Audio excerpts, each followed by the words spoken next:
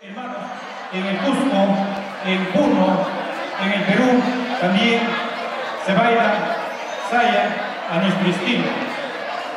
Y el taller de danzas, ritmos peruanos, va a ser ahora esta bonita presentación de la música. ¿Ya está listo la música?